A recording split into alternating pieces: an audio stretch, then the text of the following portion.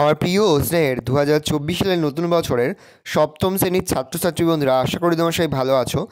আজ আমরা যে বিষয়টি নিয়ে আলোচনা করব, সপ্তম শ্রেণির সেকেন্ড সামারি অর্থাৎ দ্বিতীয় পর্যায়ক্রমিক মূল্যায়নের সংস্কৃতের কোশ্চেন পেপার নিয়ে। দেখো, সরাসরি স্ক্রিনে তোমরা সপ্তম শ্রেণির সেকেন্ড সামারি অর্থাৎ দ্বিতীয় পর্যায়ক্রমিক মূল্যায়নের সংস্কৃতের কোশ্চেন পেপারটা দেখতে পাচ্ছ। ফুল মার্কস তোমাদের রয়েছে পঁচিশ, আর সময় তোমাদের রয়েছে পঞ্চাশ মিনিট। একের দাগে রয়েছে যে কোনো দশটি প্রশ্নের উত্তর দাও। প্রশ্নের মান রয়েছে এক করে এক ইন্টু দশ সমান সমান দশ।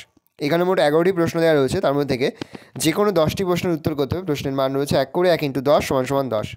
ভালো করে দেখে নাও। পর হচ্ছে, মাতৃভাষায় অনুবাদ করো যে কোনো দুটি প্রতিটি প্রশ্নের মান এক করে এক ইন্টু দুই সমান সমান দুই। পরে সংস্কৃতে অনুবাদ করো যে কোনো দুটি প্রতিটি প্রশ্নের মান এক করে এক ইন্টু দুই সমান সমান দুই। পরে হচ্ছে, সন্ধি বিচ্ছেদ করো, প্রশ্নের মান এক করে এক ইন্টু দুই সমান সমান দুই। দুটি করতে হবে, তিনটি দেওয়া রয়েছে।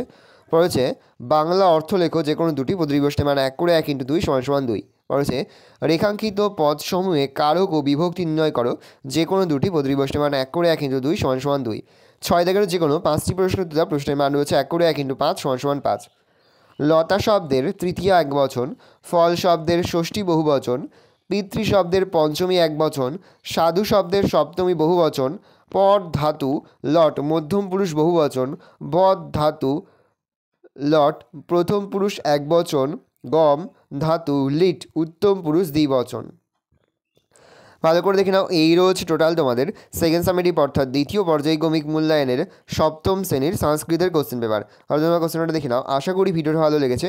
ভিডিওটা ভালো লাগলে ভিডিও লাইক করে থাকলে ভুলবে না। আর আমার চ্যানেল নতুন হাওয়া লাল লাইক সাবস্ক্রাইব প্রেস করে পাশে বেল আইকনটা প্রেস করো। যখন নতুন কোনো ভিডিও আপলোড করি, সবার ফার্স্ট নোটিফিকেশন তোমরা পেয়ে যাও।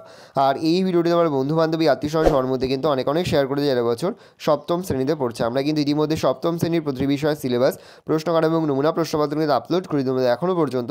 সেই ভিডিওগুলো না দেখে থাকো ভিডিওগুলো কিন্তু তাড়াতাড়ি দেখে নাও।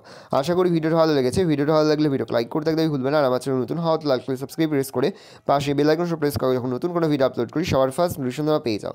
ভালো তোমার কোশ্চেনটা দেখে নাও।